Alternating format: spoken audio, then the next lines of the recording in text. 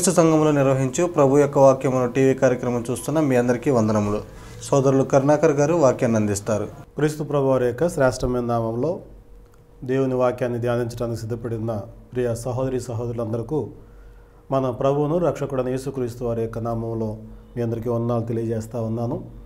అలాగనే మహాదేవుడు మహోన్నతుడు మనల్ని ప్రేమించి ఇచ్చిన చక్కని అవకాశాన్ని బట్టి తండ్రిన దేవునికి మన ప్రభుని యేసుక్రీస్తు ద్వారా నా యొక్క కృతజ్ఞతాసులు చెల్లిస్తూ ఉన్నాను. ప్రభునందు ప్రియ దేవుని బిడ్డలారా మీరు ఈ యొక్క వాక్య భాగాలను జాగ్రత్తగా విని మరి బైబిల్ గ్రంథాన్ని పరిశీలిస్తూ ఉన్నారు దేవుని చిత్తాన్ని మీరు గ్రహిస్తూ ఉన్నారు.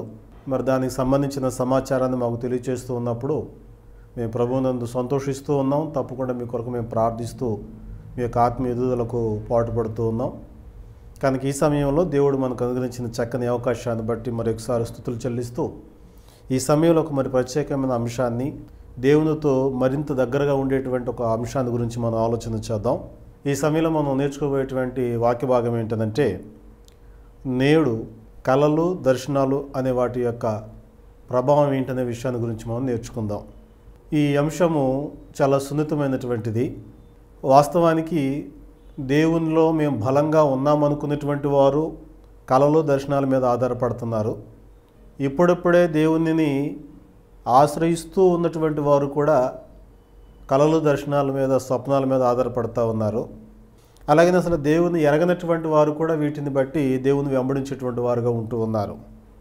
అయితే దేవుడు కళలు దర్శనాల ద్వారా మాట్లాడతాడు అనేటువంటి మాట వాస్తవమే. మాట్లాడాడు. అయితే మరి ఈ బైబిల్ గ్రంథం ఇచ్చినటువంటి ఈ దినాలలో కూడా వీటి ప్రభావం ఎంత అనే విషయాన్ని మనం ఆలోచన చేయాల్సిన అవసరం ఉంది.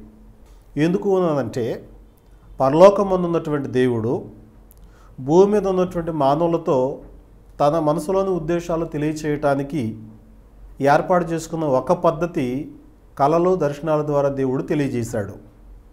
ఇవి చాలా సందర్భాలు బైబిల్ గ్రంథంలో మనం పరిశీలించవచ్చును. అయితే కొన్నింటిని మచ్చుకు మనం జ్ఞాపకం చేసుకున్నట్లయితే ఆదికాండం పదిహేనో అధ్యాయం మొదటి వచనంలో యహోవాక్యము అబ్రహామునకు దర్శనమందు వచ్చి అనే మాటను మనం చూస్తూ ఉంటాం. అంటే అతడు దర్శనములో దేవుని యొక్క వాక్యము తన ఎద్దుకు వచ్చినట్లుగా గమనించాడు. ఈ విషయాన్ని దేవుని సేవకుడైనటువంటి మోషే లిఖించాడు. కనుక అబ్రహాము దేవుని యొక్క దర్శనాన్ని చూసి దేవుని యొక్క మాట మీద స్థిర విశ్వాసం ఉంచి తను వెంబడించినట్లు మనం గమనిస్తూ ఉంటాం. ఇంకా అలాగే ఆది కాండము ఇరవై ఎనిమిదో అధ్యాయం పన్నెండవ వచనంలో కూడా మనం గమనిస్తే అబ్రహాము మనుమడైనటువంటి యాకోబు తను మార్గమధ్యలో ఒక కల కన్నట్టుగా మనం చూస్తూ ఉంటాం. ఆ తర్వాత మనం ఈ యాకోబు కుమారుడైనటువంటి యోసేపు కల కన్నట్లుగా ఆదికాండం ముప్పై ఏడవ అధ్యాయము ఐదవ వచనంలో తన కళను తన సోదరులకు తల్లిదండ్రులకు తెలియజేసినట్లుగా మనం చూస్తూ ఉంటాం. ఈ సందర్భాలను ఒకసారి మనం పరిశీలించినప్పుడు వారు కనినటువంటి కళ దేనికి సంబంధించినటువంటిది? వారి యొక్క వ్యక్తిగత జీవితాలకు మాత్రమే సంబంధించిందా? లేక దేవుని యొక్క సంకల్పాన్ని బయలుపరచడానికి జరిగినటువంటి పరిస్థిత అనే విషయాన్ని మనం ఆలోచన చేయాలి. అబ్రహాముకు దేవుడు చెప్పాడు అని అంటే పదిహేనో అధ్యాయంలో తన సంతతిని ఆశీర్వదిస్తానని ఆశీర్వదించబడినటువంటి సంతానం ద్వారా భూలోక వంశాలన్నీ కూడా రక్షిస్తానన్నటువంటి ఉద్దేశంతో అబ్రహాముకు దేవుని యొక్క ప్రణాళిక అంతటిని గురించి దేవుడు దర్శనం ముందు చెప్పాడు. ఇదే దేవుని సంకల్పాన్ని అబ్రహాము మనవుడుగా ఉన్నటువంటి యాకోబుతో కూడా దేవుడు దర్శనము ద్వారా చూపించాడు. అంటే నేను వదిలిపెట్టట్లేదు నీ పితరులకు ఇచ్చిన వాగ్దానాన్ని బట్టి నేను నీకు తోడుగా ఉన్నాను. నిన్ను ఆశీర్వదిస్తాను. గొప్ప జనంగా చేస్తాను. నీలో నుండి రెండు జనములు వస్తాయన్నటువంటి విషయాన్ని అనగా భవిష్యత్తును కూర్చేటువంటి సంగతులన్నీ కూడా యాకోబుకు చెప్పాడు. అలాగే ఆది కాండంలో యోసేపు యొక్క కళ తన భావాన్ని మనం గమనించినప్పుడు కేవలం అతని యొక్క కుటుంబాన్ని గురించి మాత్రం కాదు కానీ యోసేపు ద్వారా దేవుడు ప్రపంచాన్ని కలగబోయేటువంటి కరువులో నుంచి ప్రజలందరిని రక్షించేదానికి ఆయన ఒక నాయకునిగా ఏర్పాటు చేసుకుంటాడని ఆ తర్వాత వీరే అనగా ఇజ్రాయేలీలే యూదులుగా ఉన్నటువంటి వారే సర్వ ప్రపంచానికి వారు మార్గదర్శకులై ఉంటారన్నటువంటి దేవుని యొక్క సంకల్పాన్ని దేవుడు యూసేపుకు తెలియజేశాడు. ఆ తర్వాత మోషే వచ్చాడు. మోషే దేవుని ప్రజలు నడిపించడం మొదలుపెట్టిన తర్వాత వాళ్ళకు ధర్మశాస్త్రం ఇచ్చి ధర్మశాస్త్రానుసారంగా దేవుడు నడిపించాడు తప్ప ఈ మోషే వారిని నడిపించిన కాలంలో దేవునితో మాట్లాడే సంగతులు కానివ్వండి దేవుని దగ్గర విషయాలు తెలుసుకునేటువంటి పని కానివ్వండి మోషే చూసుకున్నాడు తప్ప ప్రజలకు అలాంటి బాధలు ఏమి లేవు. ఎందుకంటే వాళ్ళకి కళలు దర్శనాలు స్వప్నాలు ఆ గొడవ లేదు అసలు. మోషే దేవునితో మాట్లాడేవాడు వచ్చి ఆ సంగతులు వీళ్ళకి తెలియజేసేవాడు. కనుక వాళ్ళు దేవుడు ఇచ్చినటువంటి ధర్మశాస్త్రాన్ని అనుకూలంగా వాళ్ళు వాళ్ళ జీవితాలను నడిపించారు. ఒకవేళ అవిధేలు ఉన్న వారిని కూడా అదే ధర్మశాస్త్రాన్ని బట్టి దేవుడు శిక్షణ పంపించాడు. ఆ తర్వాత మనం గమనించినప్పుడు ఇజ్రాయెల్ కనాన్ దేశానికి చేరిన తర్వాత వాళ్ళు ధర్మశాస్త్రాన్ని అనుసరించకుండా అవిధేయులుగా బ్రతుకుతూ వాళ్ళు దేవునికి బాధ కలిగిస్తూ ఉన్నప్పుడు ఆయన అనేక మంది ప్రవక్తలను లేపాడు. వారికి దర్శనం ద్వారా మాట్లాడాడు స్వప్నం ద్వారా మాట్లాడాడు. వారి యొక్క అవిధేయతను ఖండించడానికి అనేక రకాలుగా దేవుడు వాళ్ళని తెలియచేశాడు. అందుకని మన యోగు గ్రంథంలో ఒక వాక్య భాగాన్ని చదువుదాము. యోగు గ్రంథము ముప్పై మూడవ అధ్యాయము పద్నాలుగో వచనం నుంచి పదహారో వచనం వరకు చదువుదాం. దేవుడు ఒక్క మారే పలుకును రెండు మారులు పలుకును అయితే మనుషులు అది కనిపెట్టరు. మంచం మీద కునుకు సమయమున గాఢ నిద్ర పట్టునప్పుడు కలలో రాత్రి కలుగు స్వప్నములలో నరుల గర్విష్ఠులు కాకుండా చేయునట్లు తాము తలచిన కార్యము వారు మానుకొన చేయునట్లు గోతికి పోకుండా వారిని కాపాడునట్లు అని యోగు ద్వారా దేవుడు తెలియజేస్తా ఉన్నాడు. అంటే దేవుడు ఒక మారు పలుకుతాడు రెండు మార్లు పలుకుతాడు. అయితే దాన్ని కనిపెట్టలేకపోతా ఉన్నారు. ఎలాగుందంటే మంచం మీద కునికేటువంటి సమయంలో గాఢ నిద్ర పట్టేటప్పుడు కలలో రాత్రి కలుగు స్వప్నములు దేవుడు మాట్లాడతాడు అని చెప్పాడు. నిజమే. ఇది ఏ కాలం ఉన్నదంటే మోసే ఉన్నంత వరకు సాధ్యమైనంత ఖచ్చితంగా వాళ్ళని ధర్మశాస్త్రాలను నడిపించే ప్రయత్నం చేశాడు. ఆ తర్వాత యహోశవ కాలమంతా కూడా ఇజ్రాయెల్ ప్రజలను జాగ్రత్తగా నడిపించాడు. యహోశవ కూడా చనిపోయిన తర్వాత దేవుని ధర్మశాస్త్రాన్ని కానీ ఆయన యొక్క ఆజ్ఞలను కానీ ఎరిగినటువంటి జనము కానీ దేవునికి భయపడేటువంటి జనము కానీ లేకుండా పోయారు. అలాగనే వారి ధర్మశాస్త్రం విలువ తెలియకుండా గ్రంథం ఎక్కడుందో తెలియకుండా వాళ్ళు ఇష్టానుసారం బ్రతుకుతున్న కాలంలో దేవుడు మరలా తన యొక్క ప్రవక్తల ద్వారా తన ఉద్దేశాన్ని తెలియచేస్తూ ధర్మశాస్త్రాన్ని వాళ్ళకి వినిపించేటట్లుగాను దీన్నే వాళ్ళు పునరుద్ధరణ చేసేటట్లుగాను కొంతమంది ప్రవక్తలను ఉపయోగించుకున్నాడు. అలాంటి సమయంలో దేవుడు ధర్మశాస్త్రానుసారముగానే కళల ద్వారా స్వప్నముల ద్వారా కునికే సమయంలో గాఢనిద్ర సమయంలో దర్శనాల ద్వారా కళల ద్వారా మనుషులతో తన సందేశాన్ని అందించాడు. అలాగనే మనం ఈ క్రమంలో గమనించినట్లయితే యశాగ్రంథం ముప్పై అధ్యాయంకి వచ్చేటప్పటికీ పూర్తిగా దేవుని యొక్క ప్రజలను బట్టి ఇజ్రాయిల్ దేవునికి దూరం అయిపోయారు వారు దేవుణ్ణి మర్చిపోయారు ధర్మశాస్త్రాన్ని అసలు పట్టించుకోవటం లేదు.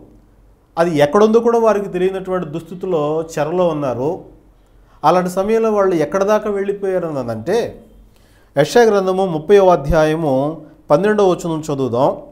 అందుచేతను ఇజ్రాయేలు యొక్క పరిశుద్ధ దేవుడు ఇలాగ సెలవిచ్చుచున్నాడు మీరు ఈ వాక్యము వద్దని త్రోసివేసి బలత్కారమును కృత్రిమమును నమ్ముకొని అట్టి వాటిని ఆధారము చేసుకుంటుంది గనుక ఈ దోషము మీకు ఎత్తైన గోడ నుండి జోగి పడబోచున్న గోడ అండవలి అగును. అది ఒక్క క్షణములోని హఠాత్తుగా పడిపోవును అని చెప్పాడు. అంటే వీళ్ళు ఏ స్థాయికి వెళ్ళిపోయారంటే దేవుణ్ణి మర్చిపోయారు. దేవుడిచ్చిన మాటలు జ్ఞాపకం లేవు. కనీసం జ్ఞాపకం చేసుకోవటానికి చదివి తెలుసుకోవడానికి ధర్మశాస్త్రం వాళ్ళకి ఎక్కడుందో కూడా తెలియదు అలాంటి పరిస్థితుల్లో వీళ్ళు ఏం చేశారు అనంటే బలత్కారమును కృత్రిమమును. అనగా వాళ్ళు ఏవైతే కల్పించుకున్నారో కల్పించబడినట్టు వాటిని దేవుని యొక్క మాటలుగా భావించుకుని వెంబడించే ప్రయత్నం చేశారు. ఇంకా ఇర్మియా అయితే ఇంకా దీని గురించి చాలా వివరంగా తెలియజేశాడు. ఇర్మియా గ్రంథము ఇరవై మూడవ అధ్యాయాన్ని మనం గమనిద్దాం.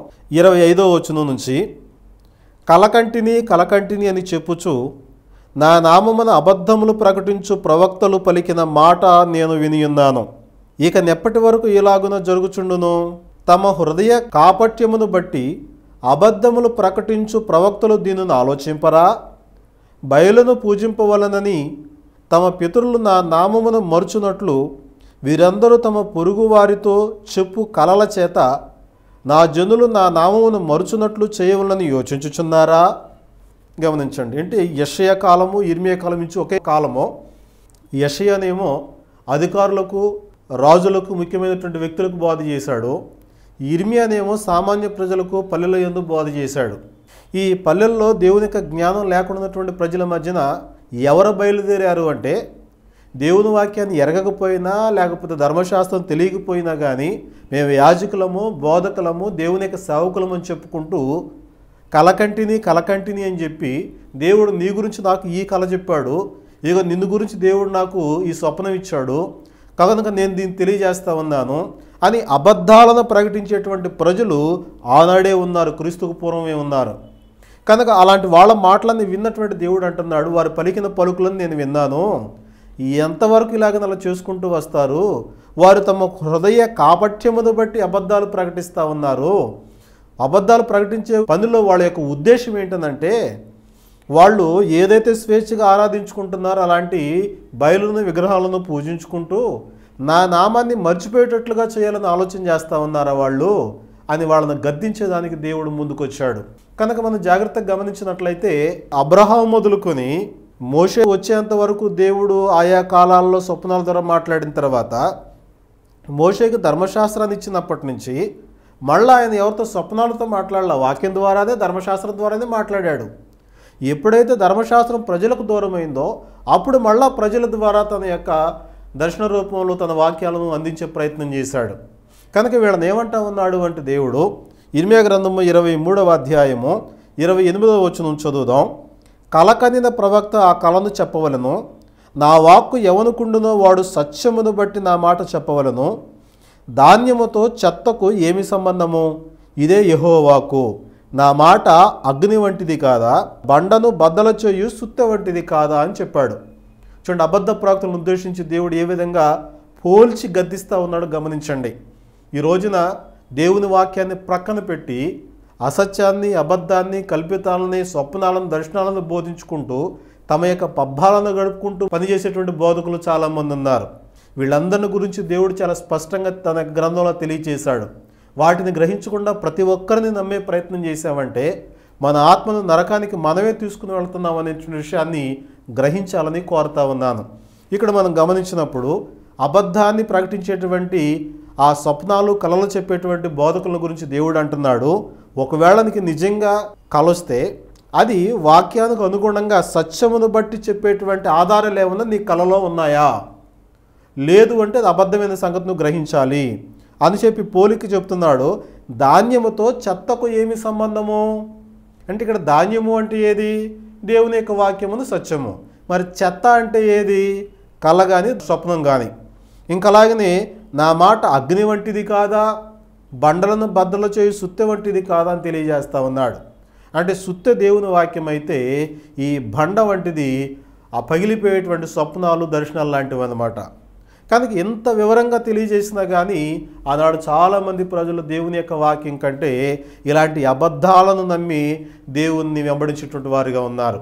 ఇలాగనే ఆ కాలక్రమంలో జరుగుతున్నటువంటి సమయంలో దేవుని యొక్క సంకల్పాన్ని బట్టి ఆయన కుమారుడను యేసుక్రీస్తు వారు ఈ లోక శరీరధారికి వచ్చిన తర్వాత ఆయన తన యొక్క ముప్పై మూడున్నర సంవత్సరాల కాలంలో దేవుని యొక్క సంకల్పం అంతా ప్రజలకు బోధించే ప్రయత్నం చేశాడు కానీ ఆయన ఎప్పుడు కూడా ఒక కళను కానీ దర్శనాన్ని కానీ స్వప్నాన్ని కానీ కునిగిపాట్లో వచ్చేటువంటి ఆలాపనలు కానీ ఏది కూడా యేసుప్రభు వారు ఎవరికి తెలియజేసే ప్రయత్నం చేయాలి కారణం ఏంటంటే అవన్నీ వాక్యము లేనప్పుడు ప్రయోజనంగా ఉంటాయి. దేవుడు తన యొక్క వాక్యాన్ని ఇచ్చిన తర్వాత వాటి పని అంత ఉపయోగకరంగా ఉండదు. కనుక యేసుప్రభు వారు ఎప్పుడు కూడా కళల గురించి దర్శనాల గురించి మాట్లాడిన ప్రస్తావన అసలు లేనే లేదు. కాబట్టి ఈ విషయాన్ని చాలా జాగ్రత్తగా గమనించాలని ప్రభునందు ప్రియమైన ప్రతి ఒక్కరు నేను కోరుతా ఉన్నాను. ఎందుకంటే ఇక్కడే పెద్ద మోసం జరుగుతూ ఉంది.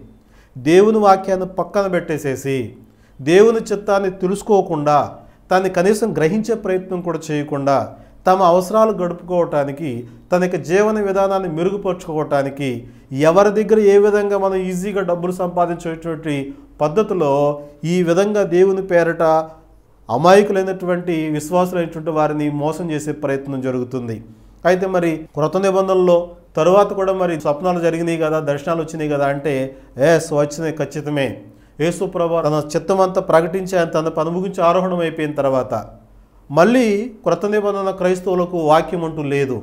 యేసుక్రీస్తు వారు తన సిలువ మరణం ద్వారా అంతకుముందు ఇజ్రాయెల్కి ఇవ్వడం ధర్మశాస్త్రాన్ని ఆయన రద్దు చేసి దాన్ని కొట్టివేసి అన్యులుగా ఉన్నటువంటి అందరికీ దాన్ని అడ్డం లేకుండా తీసివేసి ఆయన వాక్యాలు మాత్రం ఈ లోకంలో ప్రకటించి వెళ్ళారు. మరి ఆయన యొక్క వాక్యం అంతటిని భూలోకంలో మళ్ళా చదువుకునే దానికి అవకాశం లేదు. అలాంటి పరిస్థితుల్లో మనం మొట్టమొదటిగా గమనించినట్లయితే క్రొత్త నిబంధన గ్రంథము కూడా వ్రాయటానికి పూర్తయ్యేంత వరకు దేవుడు ఆయా వ్యక్తులకు ముఖ్యంగా ప్రత్యేకమైనటువంటి వ్యక్తులకు దర్శనము ద్వారా స్వప్నాల ద్వారా తన యొక్క సంకల్పాన్ని తెలియజేశాడు. జాగ్రత్తగా గమనించండి. దేవుని గ్రంథంలో ఎక్కడ దర్శనము స్వప్నము కనబడినా అది దేవుని సంకల్పాన్ని బయలుపరిచేదై ఉంది కానీ నా ఒక్కడ స్వార్థం కొరకు జరిగే ఏ కార్యము జరగలేదన్న వాస్తవాన్ని గుర్తుపెట్టుకోవాలి. ఇక్కడ మనం గమనించినట్లయితే మొట్టమొదటగా మనం అపోసుల కార్యములు తొమ్మిదో అధ్యాయంలో దమస్కులో ఉన్నటువంటి అననయ్య అనే ఒక శిష్యునికి ప్రభు దర్శనం ఇచ్చినట్లుగా మనం గమనిస్తాం. అప్పుడు ఇరుషులేముల సంఘం పరిస్థితి ఆ చుట్టుపక్కల ఉన్న యోదయ ప్రాంతంలో ఉన్నటువంటి సంఘం పరిస్థితి చాలా ఇబ్బందికరంగా ఉంది. బాగా శ్రమలు వచ్చాయి సౌలు అనే వ్యక్తి ద్వారా వాళ్ళు ఇబ్బందులు పడుతూ ఉన్నారు. అలాంటి పరిస్థితుల్లో ఈ దమస్కులో ఉన్నటువంటి క్రైస్తవ వాళ్ళు బెదురుతో ఎక్కడో ఒక చోట తలదాచుకుని బ్రతుకుతా ఉన్నారు. అలాంటి సందర్భంలో ప్రభు దర్శనం ముందు అననయ్య దగ్గరకు వచ్చి అంటా ఉన్నాడు అననయ్య నీవు ఈ యొక్క దమస్కు పట్టణంలోనే తిన్ననది అనబడినటువంటి వీధికి వెళ్ళి అక్కడ ఒక సౌలనకు వ్యక్తి ఉన్నాడు విచారించి అతను కనుకొని అతను దర్శించు అని చెప్పి చెప్పినప్పుడు అయ్యా సౌలుని గురించి అయితే నాకు తెలుసు అతడు చాలా క్రూరంగా ప్రవర్తిస్తూ ఉన్నాడు నీ శిష్యులందరూ కూడా హత్య చేస్తూ ఉన్నాడు ఇక్కడ కూడా అలాగే వచ్చాడు అని అంటే అతని సంగతి నాకు తెలుసు నువ్వు వెళ్ళవయ్యా అని చెప్పి అన్నాడు. గమనించండి. ఇక్కడ దర్శనము అంటే ఎలా ఉంటుందంటే పంపించే వ్యక్తితో దేవుడు చెప్పాడు అలాగే ఎవరి దగ్గరికైతే వెళ్ళమన్నాడో ఆ సౌలుతో కూడా దేవుడు మాట్లాడాడు. ఈ విషయాన్ని గమనించండి. అననయాక నువ్వు వెళ్ళు అక్కడ ఒక వ్యక్తి ఉన్నాడు అన్నాడు. ఆ వ్యక్తి అయినటువంటి సౌలుతో కూడా ఇగో నువ్వు పట్టణంలోనికి వెళ్ళు దమస్కులోనికి వెళ్ళు. నువ్వు అక్కడ ఏం చేయాలో నీకు చెప్తారులే అని చెప్పి సౌలు కూడా దేవుడు తెలియజేశాడు. కనుక అది ఒక వ్యక్తి రక్షణార్థమైన వాక్యానుసారమైన నడిపింపై ఉందో తప్ప భూ సంబంధంగా మనకేదో మేలు కలుగుద్దని ఆశీర్వాదం కలుగుద్దని ఉద్యోగం వస్తుందని కలిసి వస్తుందని ఈ భౌతిక సంబంధమైన దీవెనలు బట్టి మాట్లాడేటువంటి దర్శనాలు కావు అవి. ఇంకా అలాగే మనం గమనించినప్పుడు అపోస్తుల కార్యంలోనే పదవ అధ్యాయము పదిహేడవ వచ్చిన మనం గమనించినట్లయితే అపోస్తులైనటువంటి పేతురు ఒక దర్శనాన్ని చూశాడు. ఆ దర్శనంలో ఒక దుప్పటి వంటి పెద్ద పాత్ర కనిపించింది. ఆ పాత్రలో అనేకమైనటువంటి జంతువులు పురుగులు పక్షులు అన్ని రకాలైనటువంటి జీవరాశులు ఉన్నాయి. వాటిని చంపుకుని తినమని ఒక స్వరం వినబడతా ఉంటే అయ్యో అపవిత్రమైనది నిషిద్ధమైనది ఎప్పుడు నేను తినలేదు ఎప్పుడు నా నోట పడలేదనేటువంటి అపవిత్రమైన వాటిగా పేతురు మాట్లాడుతూ ఉన్నాడు. అతడు ఆ దర్శనాన్ని చూసిన తర్వాత పదిహేడు వచనంలో అనుకుంటున్నాడు ఈ దర్శనం ఏమై ఉంటుంది అని చెప్పేసి ఆలోచన చేసుకుంటూ ఉంటుండగా దేవుడు పంపించినటువంటి వ్యక్తులు వచ్చారు వాళ్ళతో మాట్లాడాడు. అప్పుడు ప్రభు చెప్తున్నాడు ఏమీ సందేహపడకుండా వాళ్ళతో పాటు వెళ్ళు అన్నాడు. ఈ దర్శనము మరి దేవుడు పేతురికి ఎందుకు చూపించాడు అన్నదంటే యూదులైన మీరు మాత్రమే దేవుని బిడ్డలు కాదు అన్యులుగా ఉన్న వారు కూడా దేవుని యొక్క సంకల్పంలో ఉన్నటువంటి వారే వారు కూడా దేవుని బిడ్డలు కావాలి కనుక నువ్వు వెళ్ళి వారికి వాక్యం ప్రకటిస్తే వారు కూడా రక్షణ పొందుతారు దేవుని బిడ్డలు అవుతారు అనేటువంటి ఆ వ్యత్యాసం పోగొట్టడానికి పేదలకు దేవుడు దర్శనాన్ని చూపించాడు. తర్వాత మనం గమనించినట్లయితే కొర్నేలి కూడా దేవుడు దర్శనం చూపించాడు దూత ద్వారా. మరి కొన్నేళ్ళకి దర్శనం చూపించడంలో గల కారణం ఏంటంటే ఎంత భక్తిగా జీవించేటువంటి నీవు వేరైనటువంటి వాడు కాదు నాకు దురస్తుడు కావు నీకు సహాయం చేసేటువంటి వాళ్ళు ఉన్నారు కనుక నీవు రక్షణ పొందాలంటే ఏం చేయాలో పలానా వ్యక్తిని పిలిపించుకోని చెప్పేసి కొన్నేళ్ళకి ఆజ్ఞాపించబడింది. ఇక్కడ కూడా మీరు గమనించారా? కొన్నేలిని పిలిపించుకోమని దర్శనం మంది చెప్పినటువంటి దేవుడే కొన్నేలి దగ్గరకు వెళ్ళమని పేతురు కూడా దర్శనం మంది చూపించాడు. ఇది దర్శనం అంటే అలాగని కాకుండా ఎవరైనా వచ్చి దేవుడు నన్ను నీ దగ్గరికి పంపించాడు నీవు పని చేస్తావా అని చెప్పాడు కనుక నువ్వు దేవుని కొరకు ఈ పని చెయ్యి ఆ పని చెయ్యి ఎవరైనా మనల్ని చెప్తూ ఉన్నట్లయితే అప్పుడు ఖచ్చితంగా మీరు అడగాల్సింది ఏంటంటే అయ్యా దర్శనంలో నీకు అనిపించి చెప్పినటువంటి దేవుడు మరి నాకు ఇంకా చెప్పలేదు ఏంటి అని చెప్పి అడగాలి మీరు.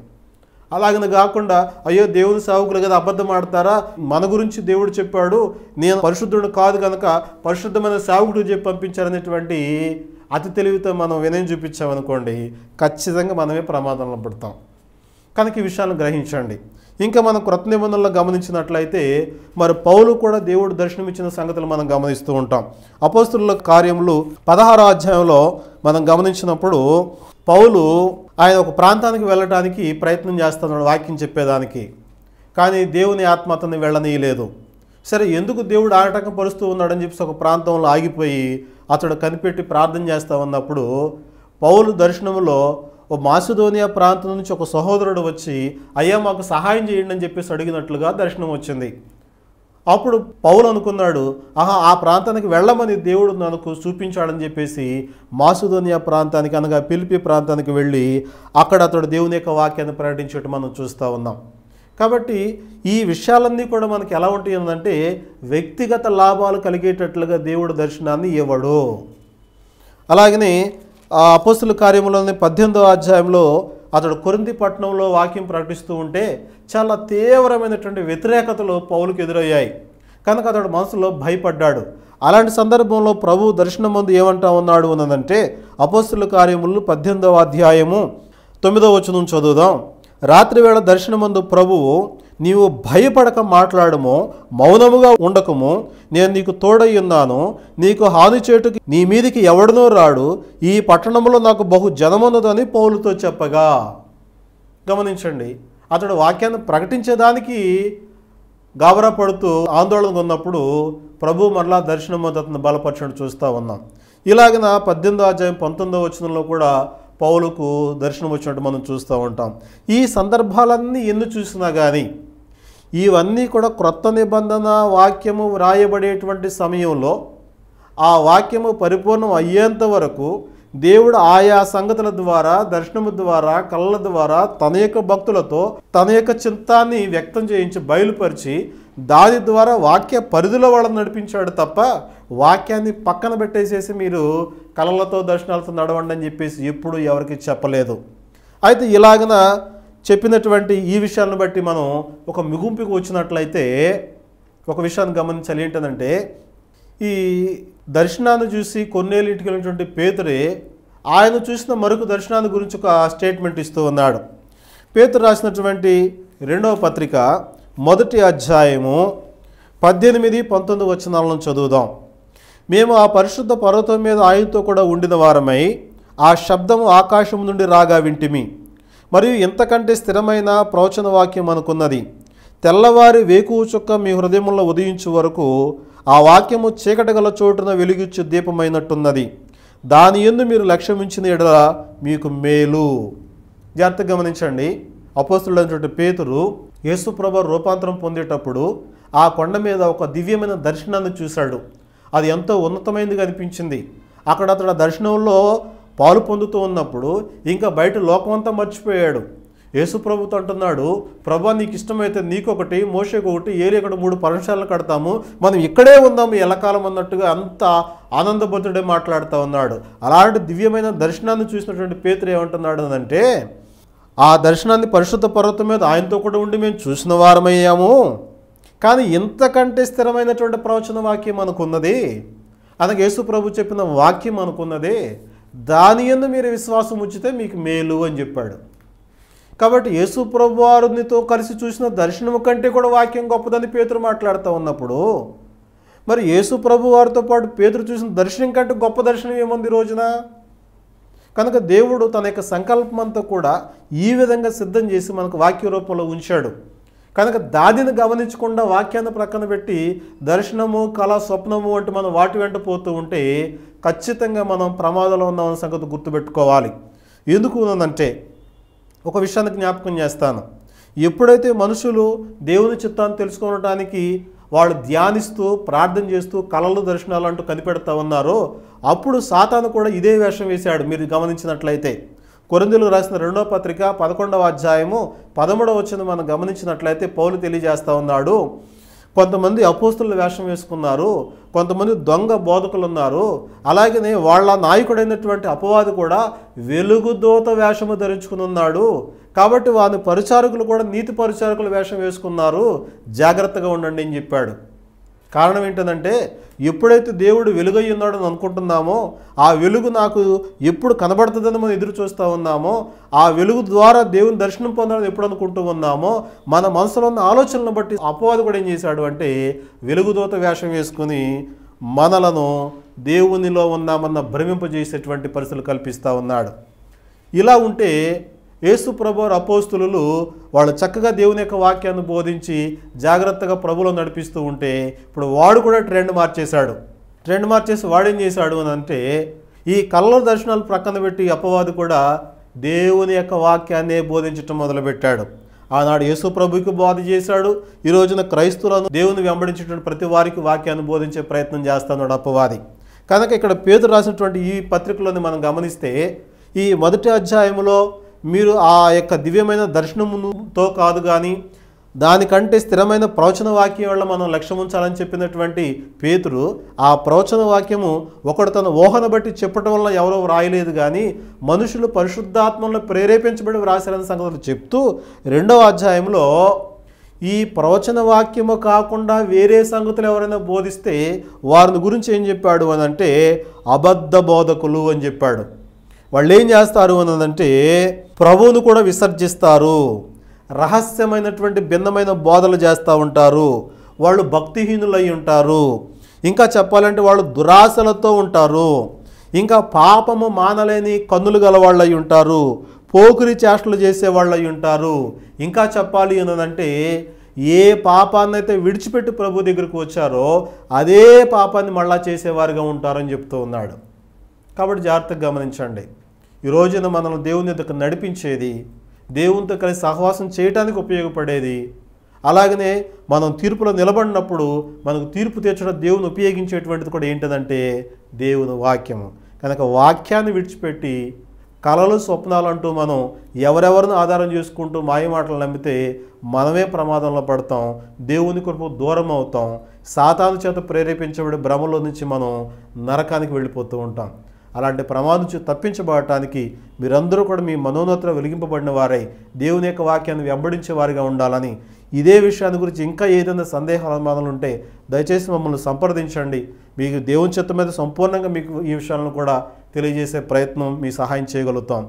కనుక ఈ విషయాల్లో మీరందరూ కూడా ప్రభునందు బలపడాలని ఆశిస్తూ ఈ కొద్ది మాటలు ముగిస్తూ ఉన్నాను. ప్రార్థించుకుందాం. మమ్మల్ని మికిలిగా ప్రేమించిన మా తండ్రి మీ ఘనమైన నామానికి మరొకసారి కృతజ్ఞతలు చెల్లిస్తూ ఉన్నాం. ఈ సమయంలో మా జీవితాలకు వాక్యము ప్రాముఖ్యమైనదా? కళలు దర్శనాలు ప్రాముఖ్యమైన సంగతులు మేము గ్రహించాం. నాయన మరి మీ యొక్క వాక్యము ప్రజలకు అందుబాటులో లేనప్పుడు మీ వ్యక్తులను ప్రేరేపించి కళ ద్వారా స్వప్నం ద్వారా దర్శనాల ద్వారా మీరు తెలియజేశారు. అయితే ఎప్పుడైతే మీ యొక్క చిత్తమంతి కూడా గ్రంథస్థం చేసి మనుషులందరికీ అందుబాటులో తెచ్చారో అప్పుడు ఆ వాక్యాన్ని బట్టి అందరిని బ్రతకమని మీరు ఎంతో ఖచ్చితంగా తెలియజేశారు. ఇలాంటి కృపలో జ్ఞానంలో ఈ వాక్యం ఉన్న ప్రతి ఒక్కరూ జీవించగలిగే మీ కృప దయచేయమని. మీరే మహిమ గంత ప్రభావాలు పొందుకోవాలని ఈ మనవలన్నీ మా ప్రభు యేసుక్రీస్తు వారి పేరట అడుచున్నాము తండ్రి. ఆమెన్. మీ అందరికీ వందనాలు. ఇప్పటివరకు వాక్యాన్ని అందించిన సోదరులకి వందనాలు తెలియజేస్తా ఉన్నాం. మీ అభిప్రాయాలు మీ ప్రార్థన అవసరాలు మాతో పంచుకోండి. మా అడ్రస్ క్రీస్తు సంఘములు సమర్పించు ప్రభువు వాక్యము. సహోదరులు M Karunakar garu Pedapeta Betavolu Gudivada.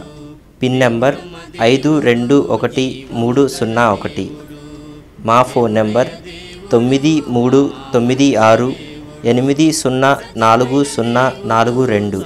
లేని దేవుడు సత్యమైన దేవుడు సాటి లేని దేవుడు సర్వశక్తి గల సర్వోన్నతుడు యహోవా.